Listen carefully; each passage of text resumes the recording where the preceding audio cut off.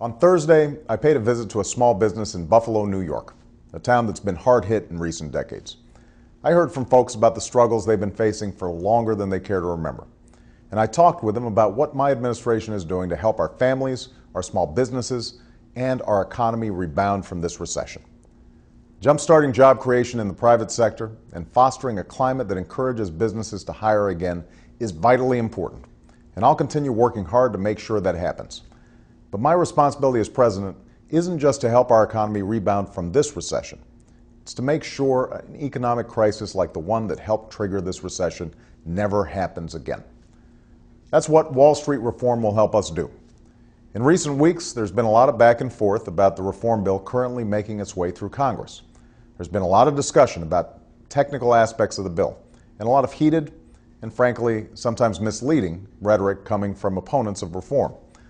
All of this has helped obscure what reform would actually mean for you, the American people. So I just wanted to take a few minutes to talk about why every American has a stake in Wall Street reform. First and foremost, you have a stake in it if you've ever been treated unfairly by a credit card company, misled by pages and pages of fine print, or ended up paying fees and penalties you'd never heard of before.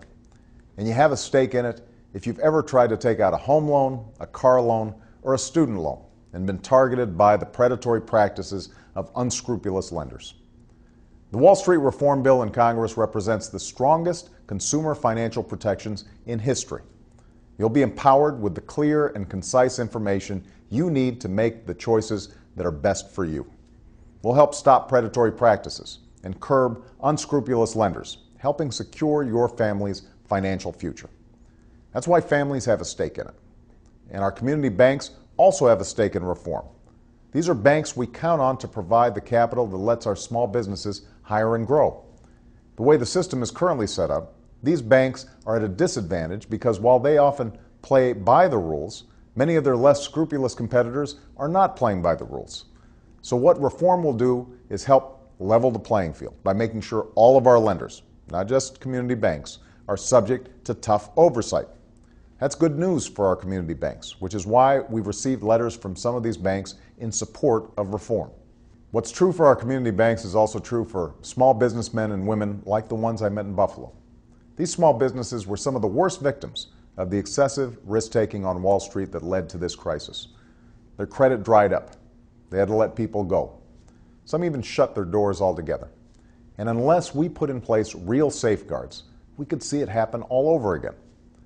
That's why Wall Street reform is so important.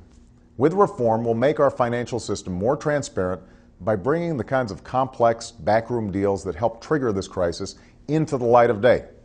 We'll prevent banks from taking on so much risk that could collapse and threaten our entire economy. And we'll give shareholders more of a say on pay to help change the perverse incentives that encourage reckless risk taking in the first place. Put simply, Wall Street reform will bring greater security to folks on Main Street. The stories I heard in Buffalo this week were a reminder that despite the progress we've made, we need to keep working hard so we can build on that progress and rebound from this recession in the short term.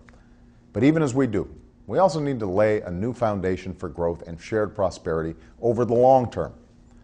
Next week, we have a chance to help lay a cornerstone in that foundation. The reform bill being debated in the Senate will not solve every problem in our financial system. No bill could.